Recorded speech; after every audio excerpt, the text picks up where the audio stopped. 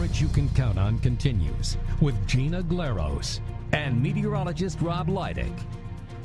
For more than 20 years, Science Central in Fort Wayne has been helping kids learn about science and have fun. And Martin Fisher from Science Central is back. What do you uh, what Got do you have here with crawlies, us? right? I brought a couple of friends in today, some of our insect friends that we have inside of Science Central's natural science area.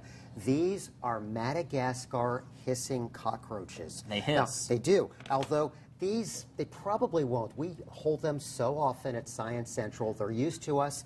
Typically, that hissing sound is a defense mechanism. That's just a fancy word that scientists use to say, scare off a predator Get away. get away. So if it thinks that I'm a predator that's going to come along and chomp on it, let's see. I don't know if the camera can zoom in or not. I'll try to hold my hand. Oh, there we go. I'll even arch it down a little bit. So along the sides of the body of this animal, there are tiny little holes called spiracles.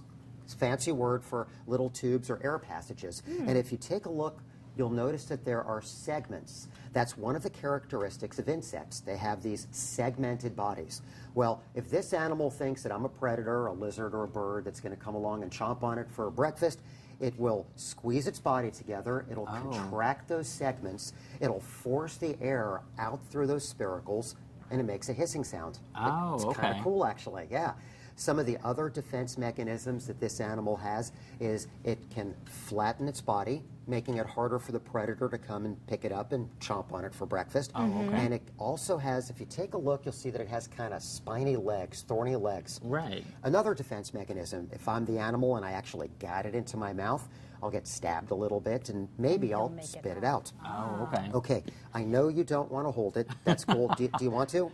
This is great. I'll hold it. All right, Oh, good, Rob, good. Here we stepping go. up to the plate. Bravery, I like it. I like I it. have no. I have no fear of insects. Okay, Oh, so there are he's kinda cute. thousands of Do you wanna different species of insects. All you have to do is just touch the back. It's very smooth. He's nice. It won't hurt you. Very smooth. There you go. You did it. Aw. Excellent. Hey. Fantastic. Gina, new pet for you. so, so you won't find these crawling in homes here You in won't. Fort Not this type. This type is from Madagascar. So break out your atlas. Madagascar is an island off the southeast coast of Africa. And as I was saying, there are thousands of species of cockroaches all over the world. And this particular type just happens to be found in Madagascar. Oh, okay. Oh, so you can even find them in pet shops. They make really good pets. Now just be aware that if you have male and female, after a while you're going to have lots. You're going to have mm. quite a colony. Now mm-hmm. this particular one is a female. I don't know if the camera can zoom in or not, but insects have three body parts. The head, which is underneath, it's that teeny tiny little thing right Okay. beside my thumb thorax right there, and then the abdomen. And on that part, you'll notice that it's smooth. That means that it's a female. If, Oh. if it's male, they have what look like two horns that are sticking up. But remember, that part isn't the head. It's under. The head is actually underneath. Underneath that. Yeah. In fact, if you It's like- take it's a like a look, you little can helmet. see. Yeah, yeah. You can see that there are two antennae mm. that are sticking up, which also makes it easier to see where the head is located underneath. Okay. Your insect exhibit, is that a big big hit probably for kids, Mm-hmm. Yeah. families? Because kids we- get to actually hold these They too, certainly right? can. We have an animal, a- an area where there, we're not a zoo, so we don't have as many animals, of course, as our great Fort Wayne Children's Zoo, but we do have a lot of animals that are on display, and we try to find good representatives of insects, reptiles, fish, whatever, and many of them the visitors can even touch, they can hold. Wow, Martin. And as we mentioned, you are celebrating uh, 20 years. Congratulations. Yes, I am 20 years old. You I are look sweet. pretty Happy good. birthday. Thank birthday. you. Thank you. No, but Before we, uh, congratulations. Your shirt actually indicates, uh, reminds us of Of something the that, that happened yeah. recently, right? Exactly. On Thursday night, Science Central turned 20 years old. Right. For 20 years, we've been here in the Northeast Indiana area, helping to serve our community and provide fun science education.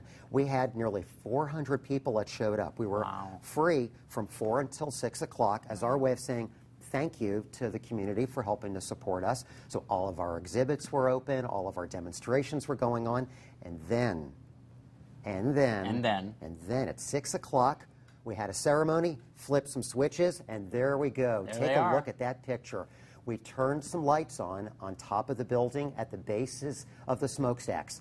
They're on a um, photosensitive timer so that every single night you'll be able to see our building with those gorgeously lit smokestacks. The same way that it's easy to see that iconic building, Yeah. Old City Light and Power, during the day. If you've got a beeline and you're able to see the building during the day with those smokestacks, now check it out at night with those uh, with those lights that we have on the bottom. adds to the Fort Wayne skyline, It right? certainly does. Yeah. You know, I love downtown. I love the Martin Luther King Bridge. I love all the things you get to see, and everyone talks about that as the gateway to downtown. Guess what? It really is Science Central. it is. It is. I mean, with that logo that we have on the mm-hmm. side of the building and the building itself, this iconic 1929 power plant, and then the smokestacks that are lit on top. Science Central really is the gateway to Fort Wayne. go. Ticket for him. Yeah, we have another player in downtown. All right, Martin, great. Thank you so much for coming in. And Bringing in My some pleasure. creepy And- crawls. And, you guys were brave. Well done. High five. You did it. All Learned right. a lot. All right. And if your family wants to visit Science Central, it's located off of Clinton Street. They're open Wednesday through Sunday, and today's hours are noon to 5.